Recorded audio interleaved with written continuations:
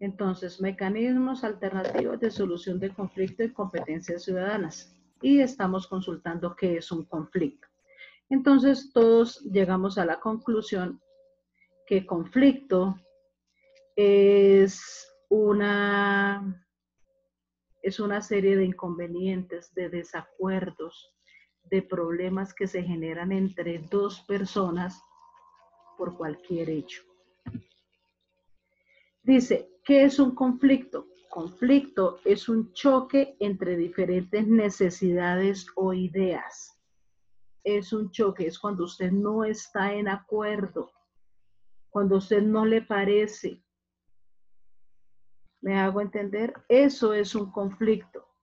Cuando, por ejemplo, resulta de que Jason se enoja con Daniela Vargas porque Daniela no le quiso prestar el borrador, ¿cierto? Entonces pasa.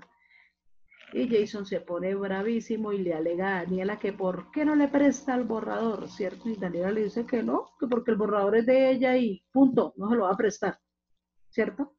Entonces, ese tipo de situaciones nos pueden generar un conflicto. ¿Por qué? Porque Daniela está en desacuerdo y Jason está en desacuerdo.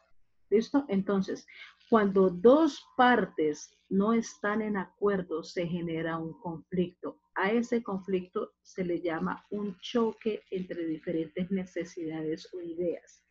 En este, hablamos, en este caso hablamos de una necesidad. ¿Cuál es la necesidad? Que Jason necesita el borrador de Daniela, ¿cierto? Pero Daniela no se lo quiere prestar, punto. ¿Cierto? Entonces eso genera un conflicto. Si fuera una idea, si estuviéramos hablando de ideas, por ejemplo, Kevin Rincón dice que eh, a él le gustaría eh, salir al parque todos los días ahorita en cuarentena, ¿cierto? Pero Julián Rubio le dice que no pueden salir, ¿cierto? Porque estamos en cuarentena y nos podemos enfermar, ¿cierto? Entonces, eh, Kevin dice que sí, que él puede salir, que él se puede poner su tapabocas y guantes y que él puede ir al parque y que, sí. Entonces, esa idea, ¿cierto? De Kevin querer ir al parque a jugar y esa otra idea de Julián de decir que no, él no va a ir al parque porque él no se va a enfermar. Esos desacuerdos, a ese desacuerdo se le llama conflicto. ¿Por qué? Porque los dos no están de acuerdo en una idea. Eso es conflicto. ¿Listo? Entonces, en su cuaderno van a, eh, van a tratar de hacer una imagen, ¿sí? Por ejemplo, mire esta imagen de conflicto, ¿cierto? Y escriben en una nubecita qué es conflicto y lo que significa conflicto entre diferentes necesidades o ideas. ¿Listo? Entonces, chicos, Conflicto es un choque entre diferentes necesidades o ideas. Dentro del conflicto existen unos mecanismos que nos ayudan a solucionar ese tipo de conflicto. ¿Listo? Vamos a ver qué características debe tener un conflicto para que se llame así o para que lo sea. Entonces, las causas o las características del conflicto son, una son los distintos puntos de vista. Otra, la fidelidad del grupo o al líder del grupo.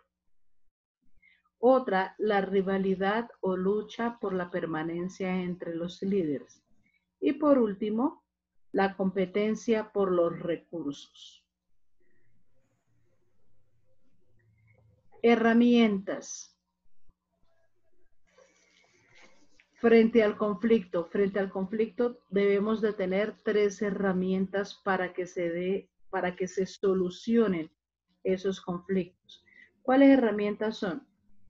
La comunicación asertiva, la escucha activa y la empatía.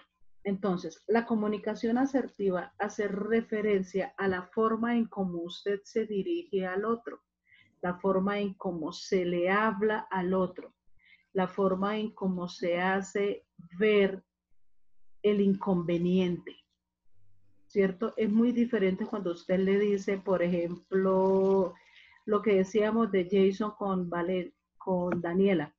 Si Jason se le va a ir a las patadas a Daniela a decirle que le preste el borrador, Daniela no se lo va a prestar, ¿cierto? Pero si Jason le pide el favor a Daniela que si le presta el borrador porque fue que el de él se le perdió o se le, o se le pasó o sí, se lo robaron, bueno, en fin, se le quedó en la casa, es diferente. A eso se le llama comunicación asertiva, ¿cierto? La escucha activa va de parte del otro. En este caso, en el ejemplo, la escucha activa va de Daniela, ¿cierto? Si Daniela ve que Jason le está pidiendo el favor de la mejor manera, Daniela le va a prestar su borrador, ¿cierto? Daniela va a hacer el favor de prestarle el borrador porque Jason está siendo amable, está siendo cortés. Y esas dos acciones generan una empatía que va a dar por fin a ese conflicto, ¿cierto? Eso cuando es un conflicto de intereses. ¿Listo? Esas son las tres herramientas del conflicto. Hablar o comunicarse asertivamente, escuchar de manera activa de la mejor forma y ese hablar y esa escucha generan una empatía entre las dos personas a las cuales se les está presentando un conflicto. ¿Listo, chicos? Entonces, entonces escribimos como título algunos mecanismos alternativos para la solución de conflictos. Dentro de esos mecanismos vamos a ver seis. Seis que ustedes los ponen en práctica. Siempre los han puesto en práctica y los conocen. Vamos con el primero.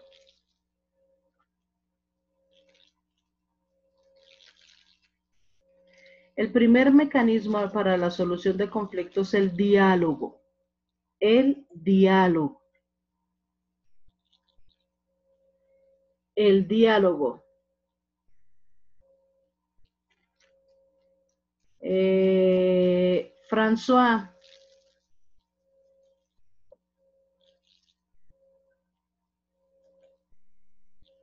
Sí, señora. Léame lo que dice el diálogo. El diálogo es la mejor herramienta para resolver los problemas que implican a personas y por ende a sentimientos. Si hablamos de conflictos familiares, uno de los más habituales y duros son los divorcios. Normalmente ante una situación así es recomendable la figura del mediador. Mediador, lo que nos leyó François, ¿cierto? Dice, el diálogo es la mejor herramienta para resolver los problemas que implican a personas y por ende a sentimientos. Si hablamos de conflictos familiares, uno de los más habituales y duros son los divorcios. Normalmente, ante, normalmente ante una situación así, es recomendable la figura de un mediador. Pregunto, ¿qué es un mediador? ¿A qué se le conoce como mediador? O en un conflicto, ¿quién es el mediador?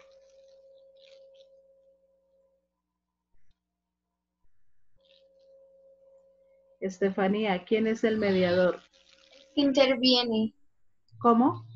El que interviene en el conflicto para arreglar la Ah, situación. es el que interviene en el conflicto para arreglar la situación, pero que tiene una condición supremamente importante. ¿Cuál es esa condición? Que él no toma partido de ninguna de las dos partes. Por eso es el mediador, porque sabe escuchar tanto a un lado como al otro. ¿Cierto? Ese es el mediador. Eh, Joseph,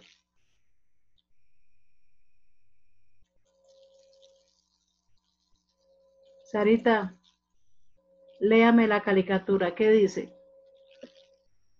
Eh, dice, podría ser que solo fuera una gran un gran malentendido. ¿Hablamos, por favor? ¿Sí pasa? ¿Será que sí pasa? Sí pasa. Y en la edad de ustedes sí que pasa mucho.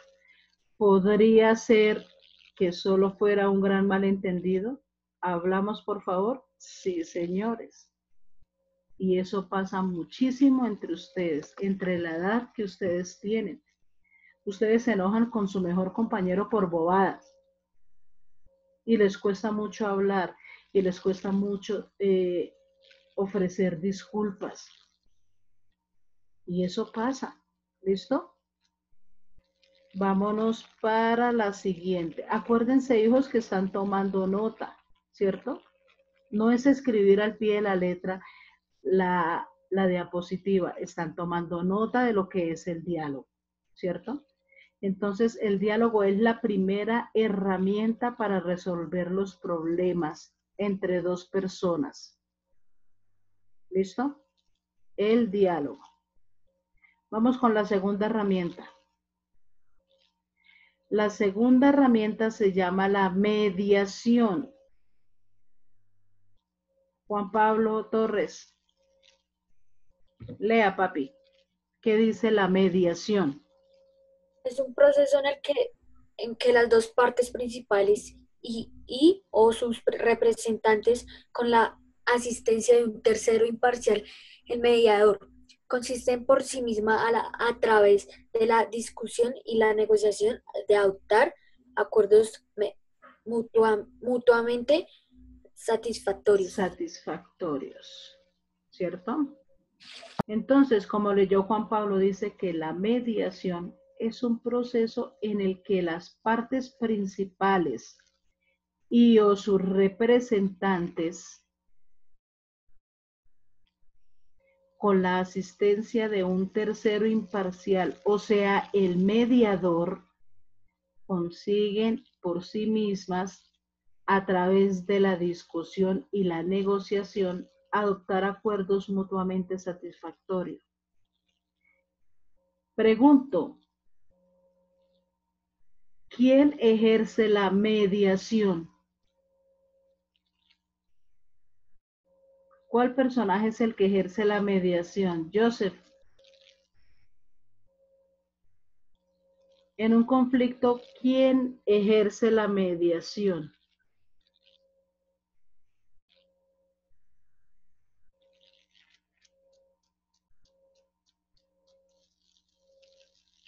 ¿Mm? Joseph. ¿Quién, papi? ¿Quién ejerce la mediación?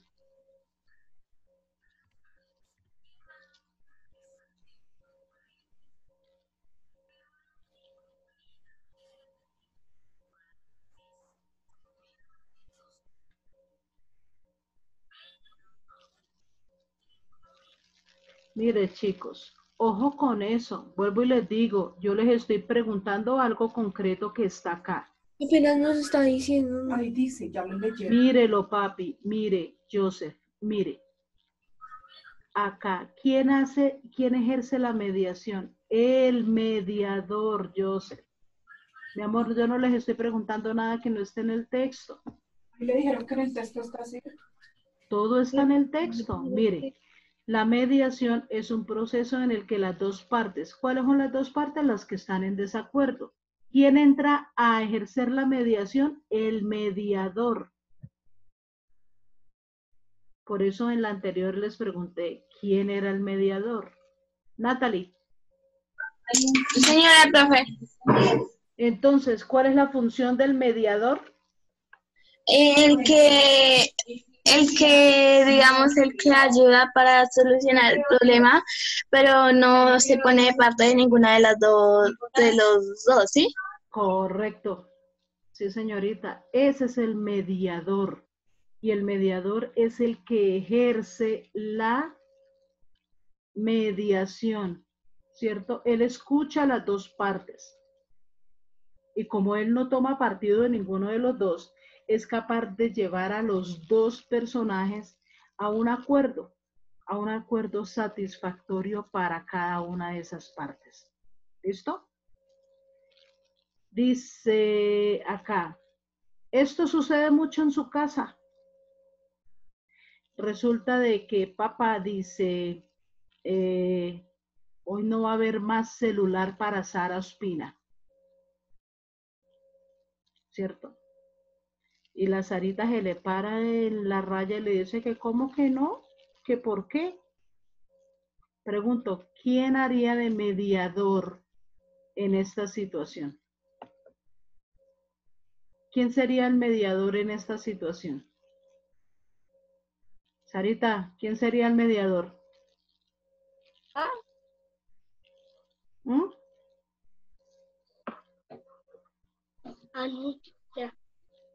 ¿Quién? Pues el que me está diciendo las cosas. No, señorita, su merced no está prestando atención. Ah, el mediador. No sé, no me acuerdo.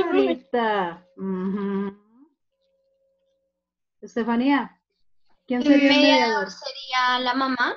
Por ejemplo, podría ser la mamá, ¿cierto? La mamá escucha al papá y escucha al niño, ¿cierto? Y por lo general la mamá es quien termina, ¿cierto? Siendo la mediadora. Y le puede decir el papá, sí, usted tiene toda la razón, Sarita se ha portado mal y no ha prestado atención a la clase. Entonces Sarita no tiene el celular durante todo el día. ¿Listo? Porque ella ve, en este caso ella que está siendo de mediadora, ella se da cuenta de dónde está el conflicto y quién tiene la razón. ¿Cierto? Eso es lo que hace el mediador. ¿Estamos claros? Vamos a la última. La conciliación. Conciliar. Daniela. Mami, léame, tab- la diapositiva. ¿Qué dice?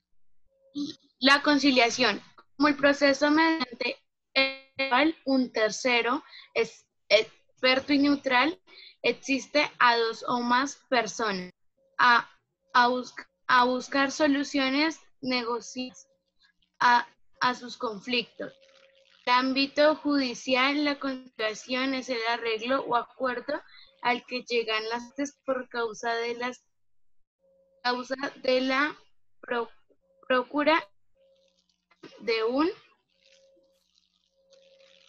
de un juez. de un juez. Entonces, como nos leyó Daniela, dice la conciliación como el proceso mediante el cual un tercero, experto y ne- neutral, neutral, asiste a dos o más personas a buscar soluciones negociadas a un conflicto.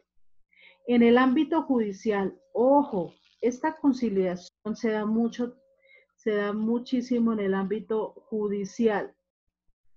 En el ámbito judicial, la conciliación es el arreglo o el acuerdo al que llegan las partes por causa de la procura y mediación de un juez. Ojo, me explico. Vámonos a la parte pequeñita para luego irnos, vámonos de lo micro a lo macro. Vámonos al salón de clase. Resulta que en el salón de 6.2, ¿cierto? En el salón de 6.2, eh, Kevin Rincón se enoja con Julián Rubio, ¿sí? ¿Por qué Kevin Rincón se enoja con Julián Rubio? Porque resulta de que Julián Rubio en el piso se encontró un borrador que no estaba marcado y Julián Rubio se quedó con el borrador. Pero, pero resulta que el borrador era de Kevin, ¿cierto? Y resulta que a Kevin se enoja, pero muchísimo, ¿cierto?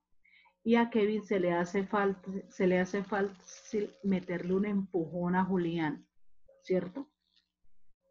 Entonces resulta de que Julián no se queda quieto y se devuelve y le mete un empujón a, a Kevin y se arma la pelotera en el salón de 6-2, ¿cierto? Y llega el profesor José y le dice, bueno, ¿y esto qué pasó aquí? Se sale Kevin y se sale Julián y nos vamos para coordinación, ¿cierto? Nos fuimos para la coordinación. En la coordinación estaba el coordinador y el coordinador lo que hace es le dice, muy bien chiquitos, se siguen y se sientan. Vamos hasta ahí. La conciliación dice que es el proceso mediante el cual un tercero, experto y ne- neutral, asiste a dos personas o más en la búsqueda de soluciones negociadas al conflicto. Ojo, pregunto, ¿quién es el tercero? Ferrucho, ¿quién es el tercero? El coordinador. ¿Quién? El coordinador. El coordinador, ¿cierto? El coordinador en el colegio, en un conflicto, en una conciliación, va a ser las veces de juez, ¿cierto? ¿Qué va a hacer el coordinador? Fácil. Bueno, Kevin, cuénteme qué fue lo que pasó. Y Kevin le cuenta, no, profesor, es que a mí se me cayó el borrador, yo no lo tenía marcado y Julián lo cogió.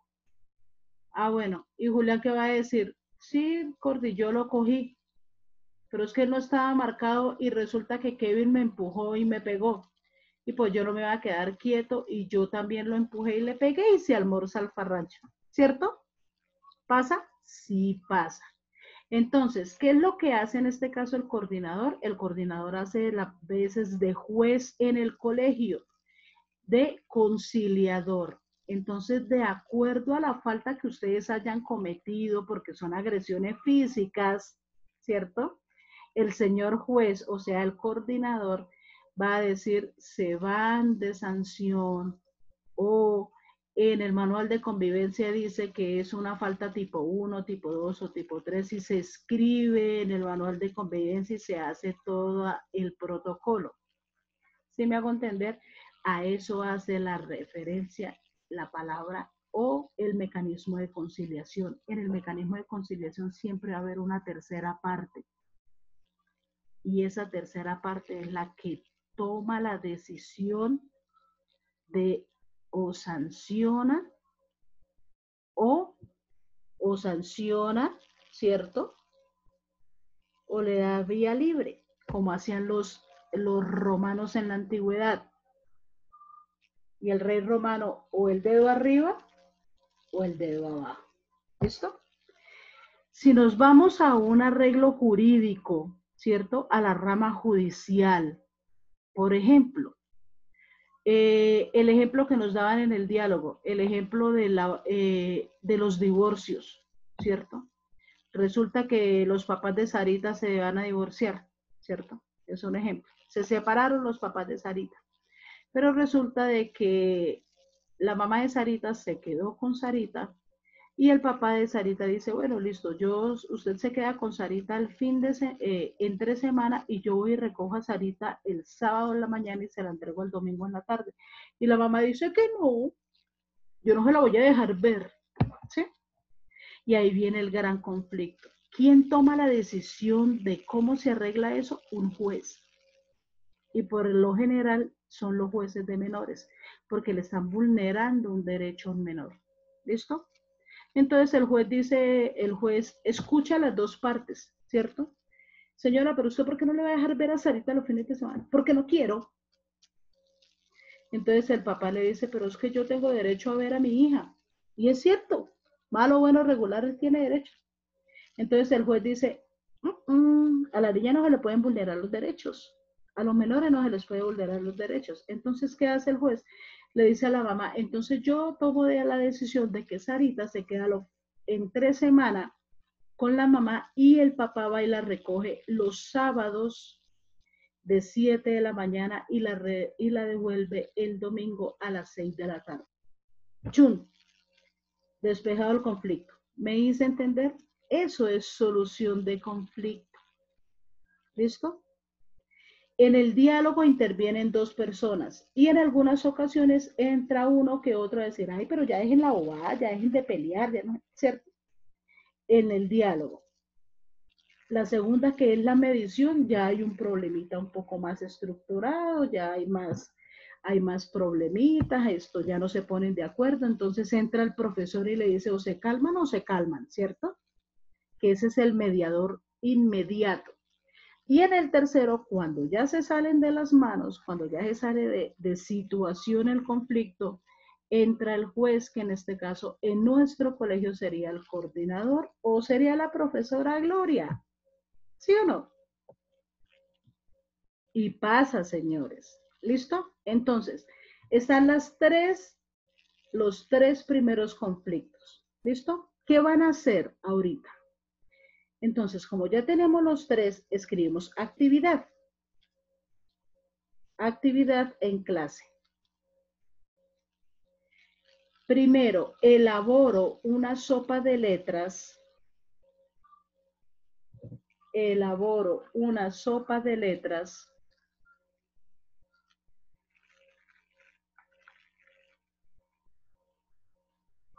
Elaboro una sopa de letras con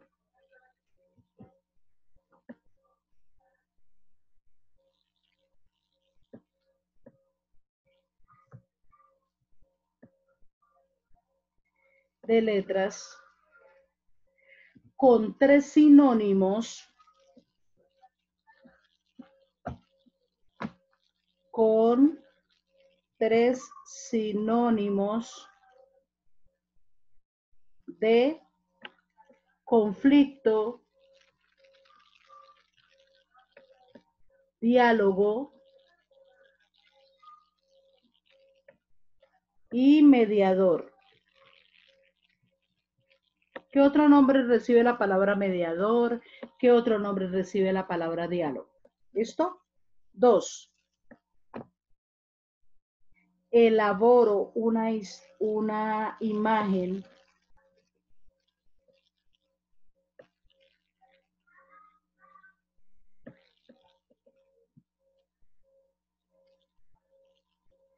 donde muestre las tres herramientas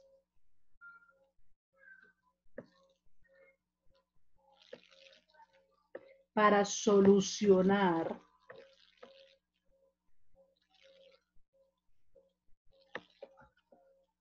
un conflicto.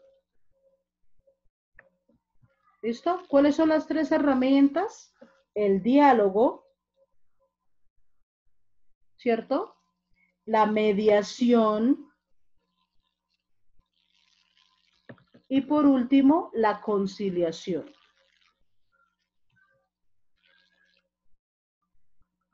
¿Listo? Y por último,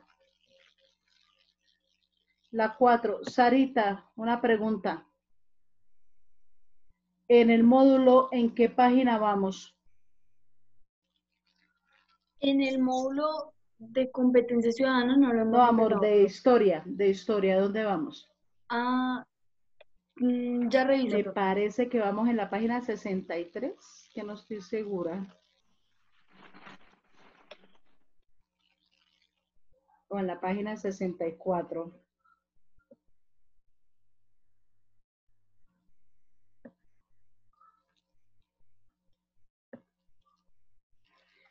Habríamos desarrollado hasta la pregunta 15, me parece. ¿No? Juan David, su merced tiene el módulo ahí. Juan David Rubio. Sí, señora. ¿Sí? ¿Hasta qué punto desarrollamos en la página, en el módulo, papi? Hasta el 13. Hasta el 13, correcto. Listo, papi. Entonces, como eso es de historia, es lo más sencillo y todo está ahí, entonces desarrollo las preguntas 14 a la 18 del módulo. ¿Listo? Desarrollo las preguntas 14 a la 18 del módulo. ¿Listo, hijos? Y con esto damos por terminada la clase. Eh, se cuidan mucho, nos vemos la próxima clase. Gracias, hijos míos.